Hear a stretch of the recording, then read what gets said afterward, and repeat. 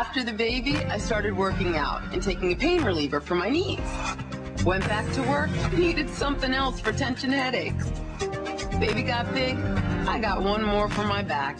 Every new pain, a different pain reliever. But not anymore. Today, I'm all Advil. Advil is my every pain reliever. Works on all my pains, wherever I hurt. So I'm ready for anything. I'm all Advil. Today, hospitals can use modern advances to help locate the source of pain.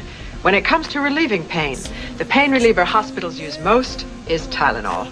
Look, last year, hospitals dispensed Tylenol 10 times more than the next four brands combined. So the next time you or someone in your family has a headache, ache, or pain, shouldn't you use Tylenol too? Tylenol, the pain reliever hospitals use most.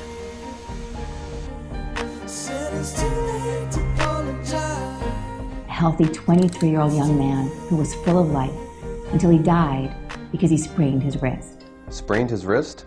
Yep, he was in perfect health and he died because he hurt his wrist.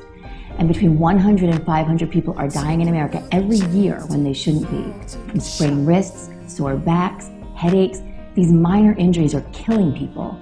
And it's all because they believe the most widely used pain reliever in America is as safe as candy. 19 year old Madeline Byrne was taking Tylenol for a toothache, something many of us do. But doctors say one of that medication's main ingredients can have deadly effects. Eyewitness News 5's Kevin Sims is live tonight with our big story. Kevin? Jessica, this was not a college kid taking illegal drugs. This was not a college kid that was even abusing prescription medications. Instead, she was simply trying to feel better and made a mistake that cost her her life.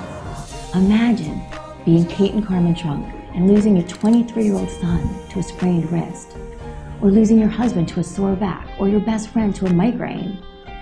If we get the word out, we could save those 100 to 500 people every year. And the word we need to get out is this use as directed and only as directed. Because too much acetaminophen can definitely kill you.